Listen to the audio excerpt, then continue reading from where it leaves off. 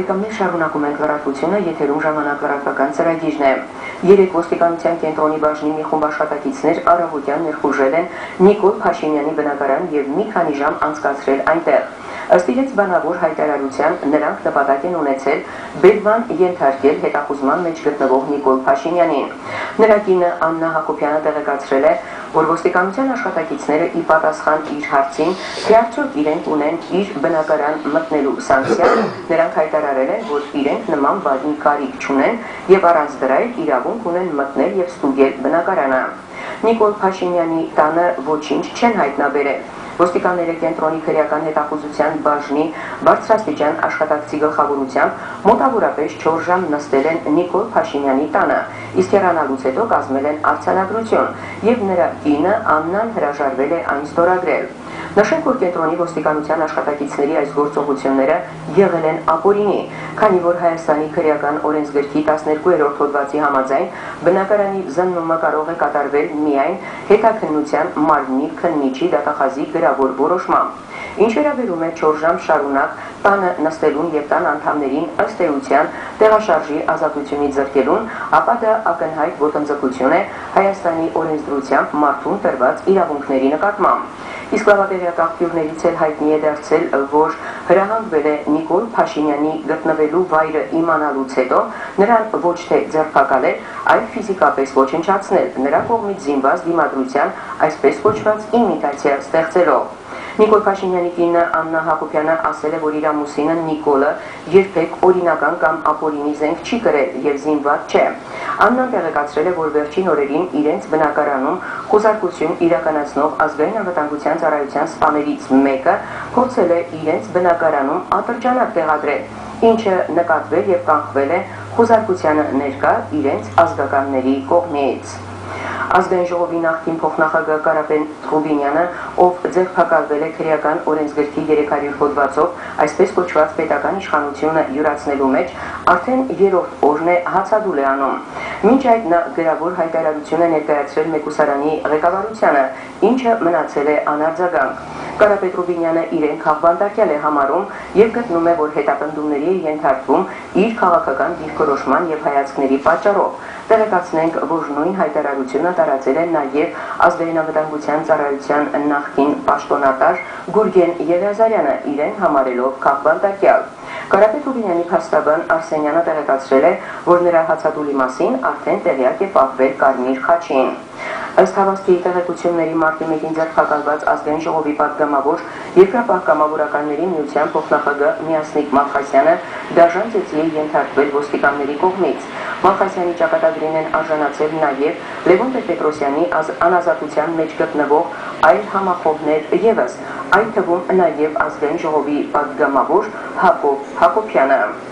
Ռուսաստանի նախագահ ընտրվելու կապակցությամբ Մեդվեդևին շնորհավորական նամակ է հղել Լևոն Տեր-Պետրոսյանը, որում ասվում է, որ Հարգարժան Դմիտրի Անատոլիևիչ սրտան շնորհավորում եմ ձեզ Ռուսաստանի Դաշնության նախագահի պաշտոնում ընտրվելու կապակցությամբ։ Վստահ եմ, որ ձեր ընտրվելով Ռուսաստանը ձեր կբերի այնպիսի առաջնորդի, որը մի կողմից կշարունակի Ռուսաստանի դերը աշխարհում կայուն կերպով ամրապնդելու հաջորդ կուրսը ժողովրդավարական եւ լիբերալ սկզբունքներին ձեր հավատարմությունը անկասկած պետք է նպաստի Ռուսաստանի հեղինակության բարձրացմանը, ինչպես Հայաստանում, այնպես էլ ամբողջ աշխարհում։ Համոզված եմ, որ հայ-ռուսական հարաբերությունները, որոնք զարգանում են 97 թվականին ստորագրված բարեկամության, համագործակցության եւ փոխօգնության մասին մեծ պայմանագրի հիման վրա ձեր ընտրվելով նոր ազդակ կստանան։ Ձեզ հաջողություն եմ մաղթում ձեր պատասխանատու գործում խորը եւ բարեկամական զգացմունքներով տնային կալանքից Հայաստանի առաջին նախագահ Լևոն Տեր-Պետրոսյան։ Թբիլիսիում բացվել է SOS Armenia գրասենյակը, որը նպատակ ունի տեղեկացնել համաշխարհային հանրությանը Հայաստանի ներքաղաքական իրավիճակի եւ դրա շուրջ տեղի ունեցող զարգացումների մասին։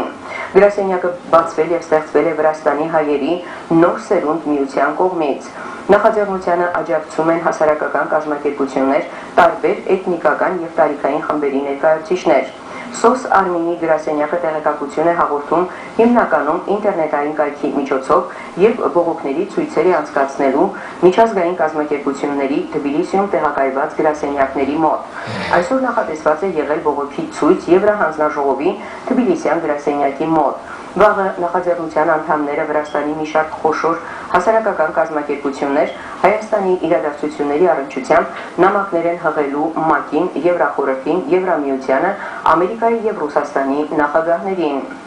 Ամերիկայի հայկական համագումարը տարածել է հայտարարություն Հայաստանում ստեղծված ներքաղաքական իրավիճակի վերաբերյալ։ Դրանում ասված է. Ամերիկայի հայկական համագումարը միանում է աշխարի բոլոր հայերին սքալու 2008 թվականի մարտի 1-ին Երևանում պորտկած բռնության հետքերով անիմաստ մարդկային կյանքերի կորուստը։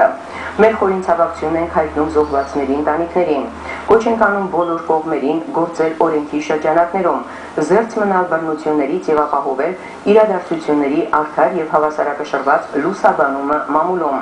Այս քրիտիկական պահին Հայաստանի երիտասարդ ժողովրդավարությունը լուրջ փորձություն է անցնում Մենք հուսով ենք, որ իշխանությունները հնարավորինս շուտ կհայտարարեն արտակարգ իրավիճակի դադարեցման մասին։ Այժմ, երբ համանadrական դատարանում անց է կացվում գործի դատաքննությունը, կոչ ենք անում ապահովել իրավական գործընթացի անկախությունը եւ համանadrական դատարանի բարի համբավի պահպանումը ի նպաստ հայ ժողովրդի։ Ահա այսպես է ասված Ամերիկայի հայկական համագումարի տարածած հայտարարության մեջ։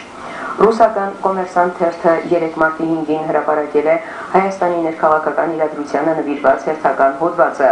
Դրանում նշվում է, որ Հայաստանի անդիմության տվյալներով երկուշաբթի օրը Երևանի հիվանդանոցներում մարտի 1-ի դեպքերի ընթացքում մահացել է եւս 10 մարդ եւ մահացածների ընդհանուր թիվը հասել է 20-ի, որոնցից 15-ը եղել են ցուցարարներ։ Երևանը ողողված է զինծառայողներով, ռազմական տեխնիկայով եւ տեղի են ունենում անդիմության ներկայացուցիչների զանգվածային ձերբակալություններ, գրել է ռուսական կոմերսանտ թերթը։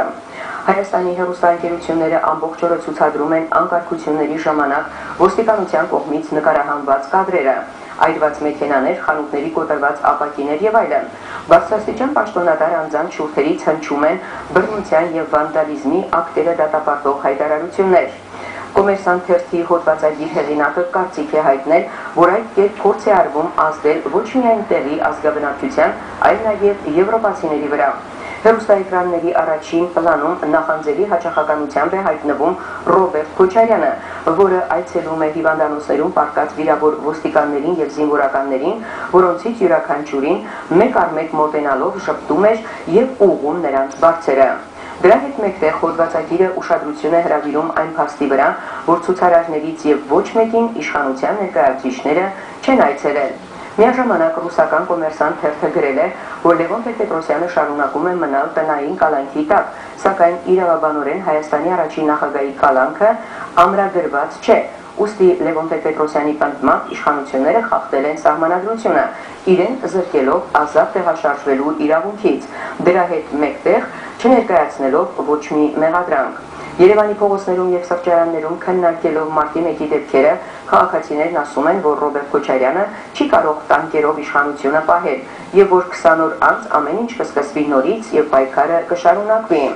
Մոսկվայի ապահի ինստիտուտի փոխտնօրեն Վլադիմիր Ժարիխինի կարծիքով Հայաստանի իշխանություններին հաջողվել է վերահսկողության տակառնել իրադրությունը, սակայն կացան դեռ երում է։ Իշխանությունները կափարիչով փակել են երացող կացան, բայց կացան երում է, ասել է ռուս քաղաքագետը Christian Science Monitor 13-ին տված հարցազրույցում։ Միաժամանակ Մոսկվայի քաղաքական տեղեկատվության կենտրոնի տնօրեն Ալեքսեյ Մուխինը նույն թերթին ասել է.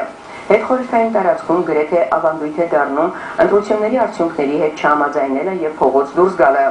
Հայաստանի իրադարձությունները ձերժավուի զգացում են առաջացնում։ Թերթը այսօր մեջբերել է նաև Կովկասյան հետազոտությունների կենտրոնի ղեկավար Ալեքսանդր Իսկանդարյանի կարծիքը։ Իրավիճակը Հայաստանում իսկապես շատ լուրջ է։ Հասարակությունը խորապես բևեռացված է։ Մենք դեռ երբեք նման բան չենք տեսել։ Սա մի ուժգին շոկ է, ասել է Ալեքսանդր Իսկանդարյանը։ Բարեկամներ այնամեն ինչ ցանկանում էի ձեր ուշադրությանը ներկայացնել այսօր սիրելի հայրենակիցներ դեռևս շարունակվում են ստորագրությունների հավաքումը երբ ունենաք պատշաճ թվով ստորագրություններ ես խնդրում եմ զանգահարեք մեզ որևէ մեկին մի տրամադրեք այդ ստորագրությունները տրամադրեք մեզ մենք կգանք եւ կվերցնենք եւ կտրամադրենք Անջելա